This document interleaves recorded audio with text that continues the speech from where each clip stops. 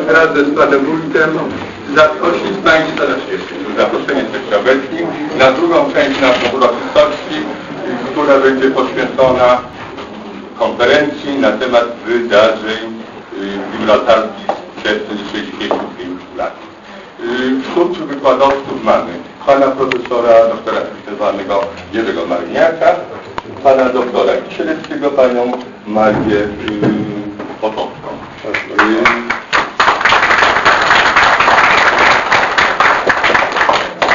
za kłopoty natury technicznej przepraszamy, ale y, wszystko co w zasadzie mogliśmy przekazać, przekazywaliśmy. Wczoraj uczestniczyliśmy bardzo, bardzo intensywnie y, w pierwszym dniu obchodów, a dzisiaj z kolei jeszcze szlakiem generała Sikowskiego Państwo, szanowni wykładowcy, jeszcze prześledzili życiorys, jak ja to krótko nazywam, generała Sikorskiego, za ludzi urodził się w Tusowie, dla Pana Boga w Korzelowie i tam byśmy byli, a jako równy królom spoczywa na Batylu. I chyba, I chyba będziemy mogli zaczynać. W moim imieniu, w imieniu władz samorządowych bardzo serdecznie witam świat nauki na ziemi tuszowskiej i myślę, że to, co jest tak wielką tajemnicą, czyli e, tajemnica śmierci generała, w jakiś sposób rzuci Państwo światło i rozjaśni pewne wątpliwości, które e, nie tylko my, ale i ludzie w Polsce e, mają, także bardzo proszę.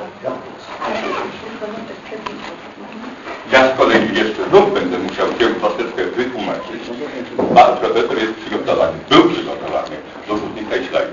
Okazuje się, y, y, tak, y, okazuje się, że technologia obecna troszkę nam popsuła, popsuła szyki i będzie się musiał posiłkować samym wykładem. Ale jako wykładowca z wielodziesięcioletnim doświadczeniem sobie poradzi. Przepraszamy i prosimy Państwa. proszę. Ja dziękuję bardzo organizatorom tych uroczystości związanych z generałem Władysławem Sikorskim. W wielu przypadkach się mówi generał Sikorski i każdy uważa, że wie o którego generała chodzi. Sikorski generał nie tylko jeden. To jest bardzo dobry, ówczesny generał, się Mieczysław Sikorski, tak, zajmował się lotnictwem. I dużo dobrego zrobił też dla Polski. Dlatego ja zawsze zwracam uwagę. My tutaj mówimy o generale Władysławie Sikorskim w miejscu jego urodzin. Dziękuję bardzo za zaproszenie. Ja rzeczywiście to, co Pan Przewodniczący powiedział, byłem przygotowany na au- audiowizualizację. Nie, niemniej będę ograni ograniczę się tylko do audio, do wypowiedzi. Niemniej zrobiłem pewne swoich materiałów kserokopie i kilka sztuk tej, które przywiozłem, co myślałem, że może dam tak e, na sali e, tym, którzy się bardzo interesują. Ja zostawię to w bibliotece w Izbie Pamięci generała Sikorskiego i gdzie Państwo będą mogli sobie, to już sprawa organizacyjna jest, czy wypożyczyć, czy poprosić o skserowanie, żeby mieć własne, tak, i w ten sposób, żeby to udostępnić, poszerzyć i zwizualizować to, co będę mówił, ale poprzez Izbę Pamięci i Bibliotekę. Materiały te zawierają, od razu chcę powiedzieć, katastrofa gibraltarska pierwsza, sprawy symulacyjne, symulacja numeryczna całego lotu, jak on mógł wyglą- wyglądać, ten lot i przebieg tego lotu. Będę mówił o tym. Udowodnienie, że jeżeli mamy tylko, bo zajmuję się od razu mówię, dynamiką lotu, mechaniką lotu, obiektów latających i tym wszystkim, co się porusza. Zajmuję się katastrofami, brałem udział w wielu badaniach wielu katastrof, Kościuszki, Kopernika, Irydy, tutaj Mieleckiej, Iskry, też cały czas uczestniczyłem i współpracowałem z Mielcem, robiliśmy badania dla Mielca i tak samo jeżeli chodzi o sprawy katastrof. Także jestem zorientowany, jeżeli czynnie, przy badaniu katastrof. Zagad sprawą generała Sikorskiego zajmowałem się już od roku 70, właściwie przed 70. Pierwsze e, publikacje, które tutaj są symulacyjne, co były wyszły to w roku już 73. Tak. I następnie y, roz, rozszerzone są takie trzy artykuły pisane. To jest mm, pierwszy y, mm, y, to jest wypadek czy sabotaż? Analiza wypadku w 60. rocznicę katastrofy gibraltarskiej. I to jest dosyć szczegółowo omówione z fotografiami, tak, analizą na podstawie fotografii, które były dostępne, dlatego że jest bogaty materiał faktograficzny, gdzie nie wszyscy o tym może wiedzą i dotarli. Ale w, 7, znaczy w roku 78 to jest 35 lat po rzekomej katastrofie, bo to nie była katastrofa, po tej rzekomej katastrofie widocznie nieopatrznie Anglicy puścili do publikacji w jednym z czasopism kwartalników After the Battle to było i to znaczy ale to jest mała sala czy Państwo tam na końcu jak mówię posłyszą czy... proszę teraz lepiej? No, no. to są buławowe w także 35 lat. Poka po katastrofie no, zostały opublikowane dokumentarne zdjęcia z badań powypadkowych elementów samolotu, które były wyciągnięte z Morza Śródziemnego. Zdjęcia, które były robione przez y, Johna Bicka, kapitana, oficera technicznego w Gibraltarze, który zajmował się badaniem wypadków lotniczych fachowca w tej dziedzinie, przez e, jego dowódcę pułkownika, też inżyniera, pułkownika. Ja bardzo jej wierzę, jeśli chodzi o mm, sprawy badań tych inżynierów, techników, bo sam jestem profesorem, ale zawsze profesor, inżynier. Cały czas współpracowałem z przemysłem, brałem udział przemyśle i do dnia dzisiejszego czynnie jeszcze pracuję w przemyśle. Pomimo przejścia na emeryturę na Politechnice, ale czynnie y, w szkole Orląt jestem profesorem 76 lat i tam jestem wykładowcą, profesorem tak w szkole, Wyższej Szkole Oficerskiej Sił Powietrznych. Czynnie. Więc proszę Państwa, tutaj podaję to, co mogłem, wyciągnąłem z tych pism, bo od strony technicznej i od strony analizy technicznej to, co będę mówił, to opieram się wyłącznie na e, konkretnych świadectwach przez dyselekcjonowane świadków, które były opublikowane przez Subotkina w Krakowie, to były tłumaczone dokumenty z przesłuchań przez komisję angielską, ale ze zdania świadków, pełne ze zdania świadków, to było 30 świadków. I to byli nie wszyscy świadkowie, których komisja angielska wezwała czy dopuściła bo wielu bardzo istotnych świadków było całkowicie e, podnięte. Był taki radiotelegrafista Merlin, który w skale Gibraltaru widział cały przebieg. Widział, jak samolot wylądował na, na morzu. Widział, jak samolot utrzymywał się na morzu około 8 minut, może i nawet dłużej. Reflektory gibraltarskie oświetliły go dużo później, pomimo, że były zawsze w gotowości bojowej, w każdej chwili mogły znaczy oświetlać teren Gibraltaru i morza. Zapalili się późno, On widział, jak samolot unosił się na powierzchni morza przez 8 minut. Jak z tego samolotu wysiał, to jest wyjście awaryjne, pilot,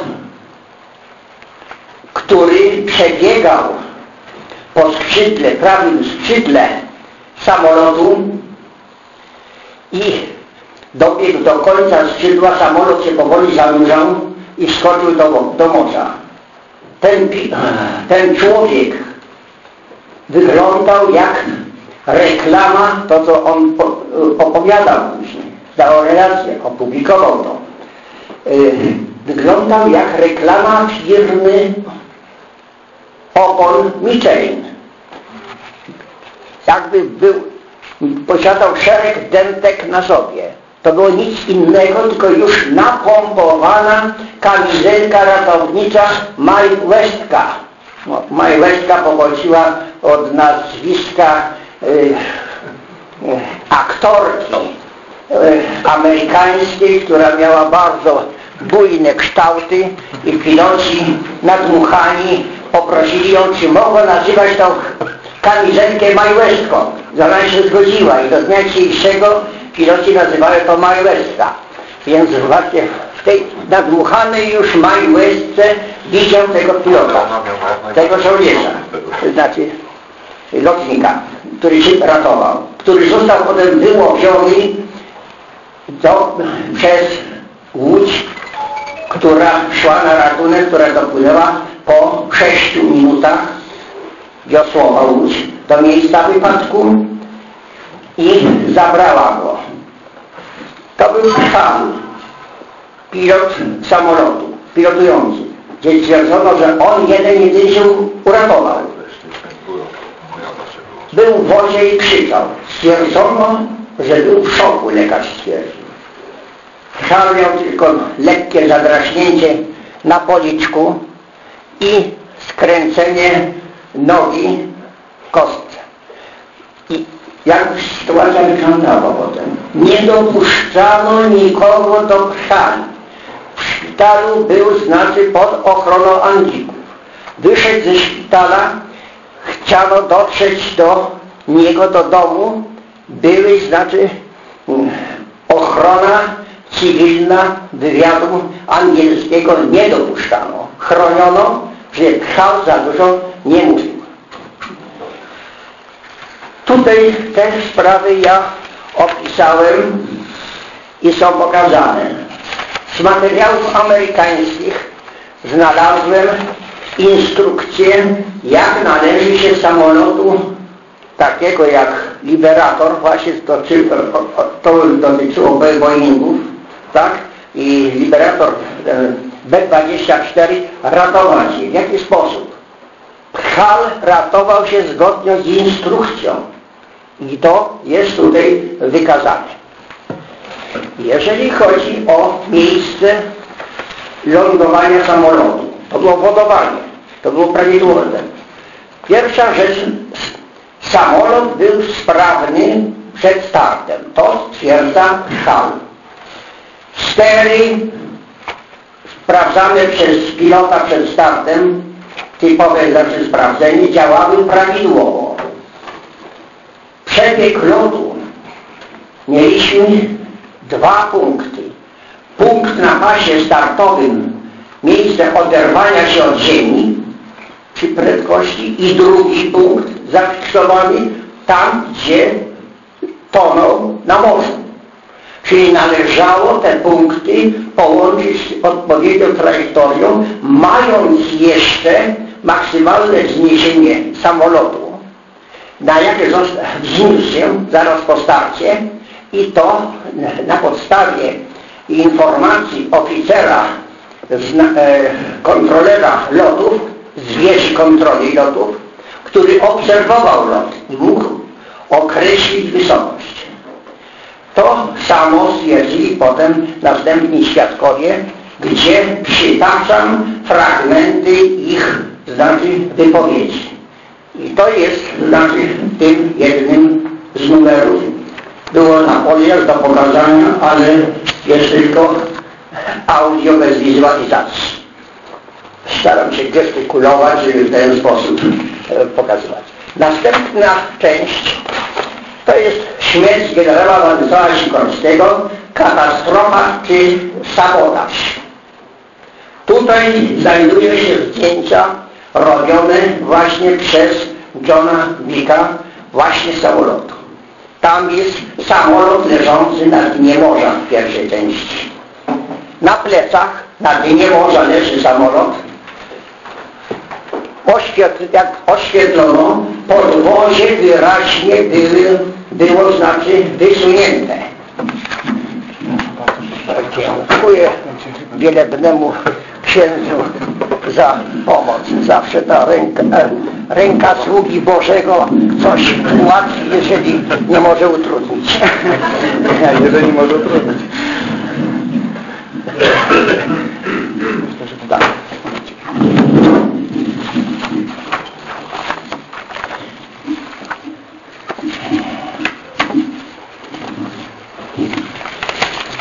Także, że tutaj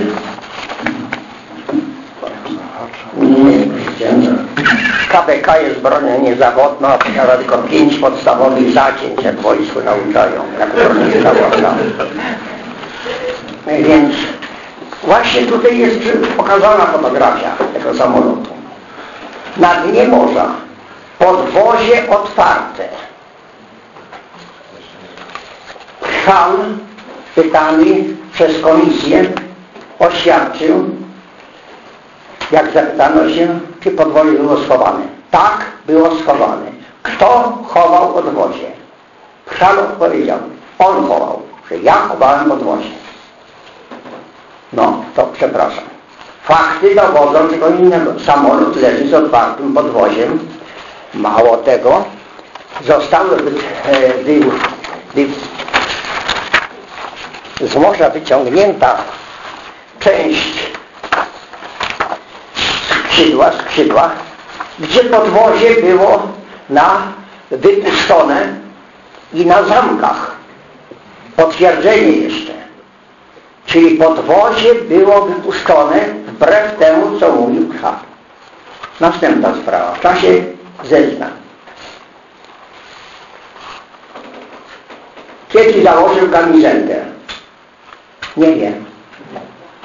Miał założoną kamizelkę? Nie.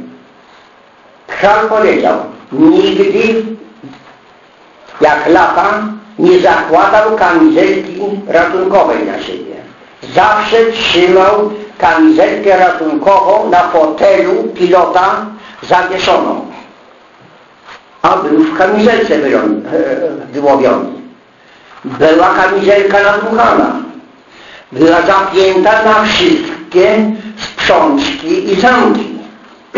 Musiała być wcześniej założona i nadmuchana. Mówił nieprawdę.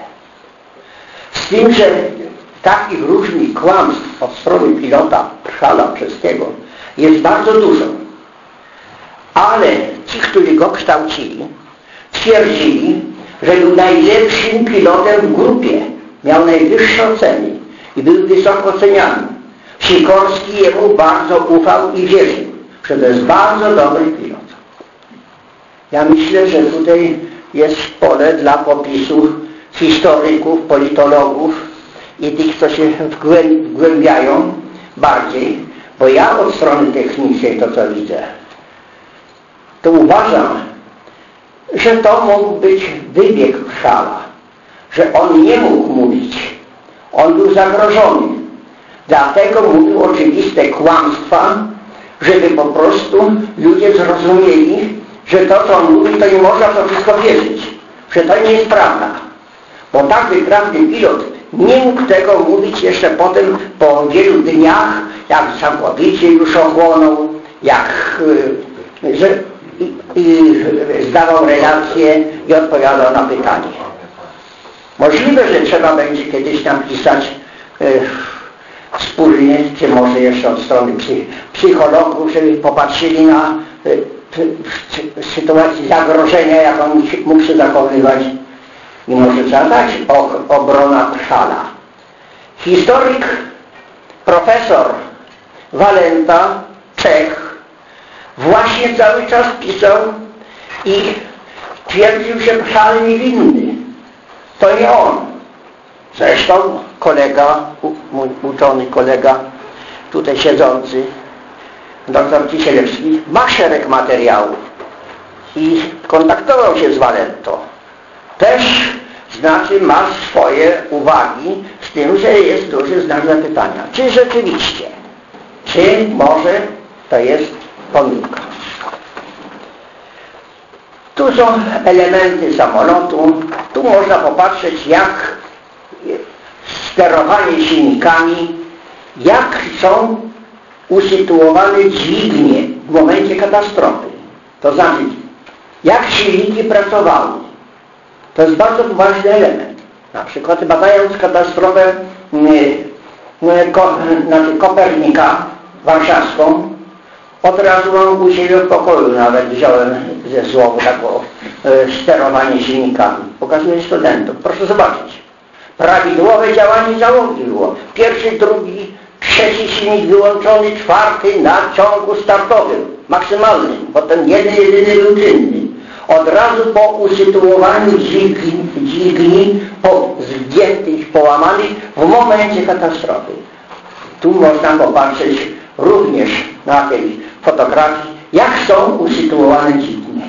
To wszystko to są sprawy techniczne i tutaj muszą technicy, a nie znaczy yy, literaci w to wkraczać. I dlatego ja dosyć ostro może w następnej części czwartej e, piszę e,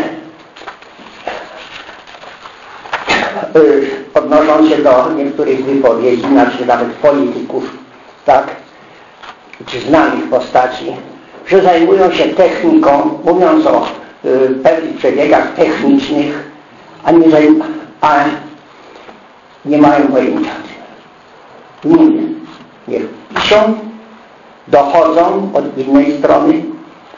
Tutaj jest duże pole dla popisu, dla historyków, dla politologów, całą sytuację.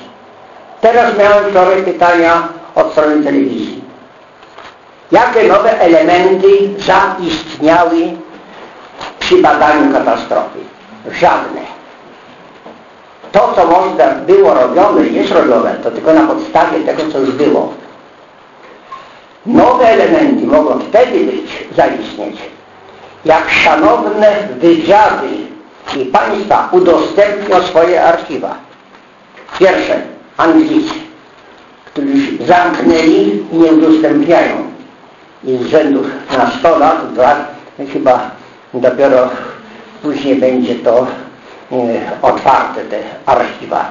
Ale na razie jest szereg i bardzo istotnych dokumentów, których wiem. Zresztą piszę to właśnie w części e, trzeciej na ten temat, która zawiera taki ten Y, pod tytuł Śmierć generała Władysława Sikorskiego. Kontrowersje, znaki zapytania, skrywatne dowody.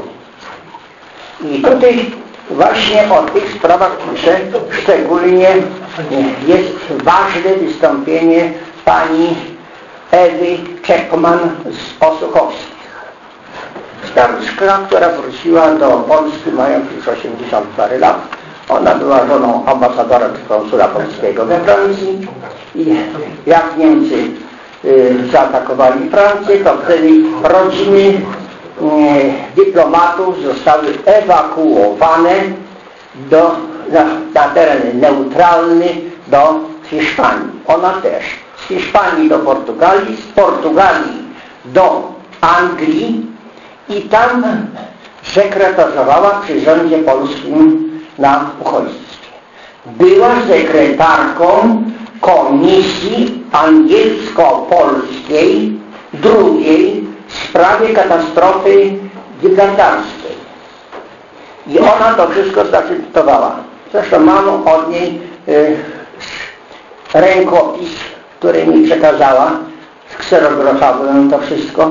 I tak w jednym miejscu napisze, już w drugim dniu pracy komisji we wtorek. Nasza strona miała poważne osiągnięcia gdyż ustalono bardzo ważne sprawy techniczne. Następnego dnia przyszłam do biura wcześniej niż zwykle, ale drzwi sali obrad zastałam zamknięte na klucz. A przymocowaną za pomocą pineski małą karteczkę z odręcznie napisaną informacją. Tu był tekst angielski, to jest znaczy e, znaczy posiedzenia komisji dochodzeniowej są zawieszone aż do odwołania. Odwołanie to obowiązuje do dnia dzisiejszego. Nikt z żyjących Polaków o tym nie wie. Jeziorański pisał, że warto powołać komisję polsko-angielską do zbadania tego. Ona potem dalej pisze. Szanowny pan Jeziorański nie wie, że taka komisja była, była powołana i nie została rozwiązana, ale posiedzenia zostały zawieszone do dzisiejszego. Tutaj zresztą odręczne potem jest podziękowanie za to, co robiłem od Pani Osłuchackiej, tak? I dopisuję na końcu, znaczy rozmowy z nią i przekazane. Ewa Czetman już nie żyje.